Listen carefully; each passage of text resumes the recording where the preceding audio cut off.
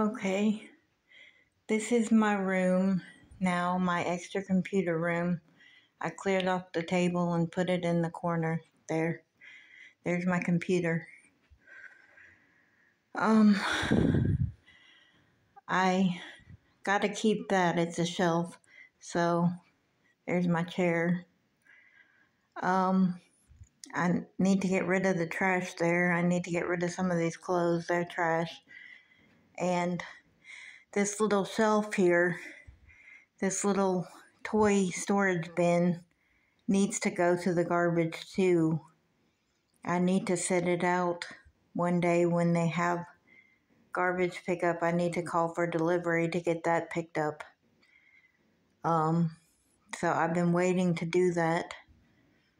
I haven't done it yet. But that's basically that's what the room looks like.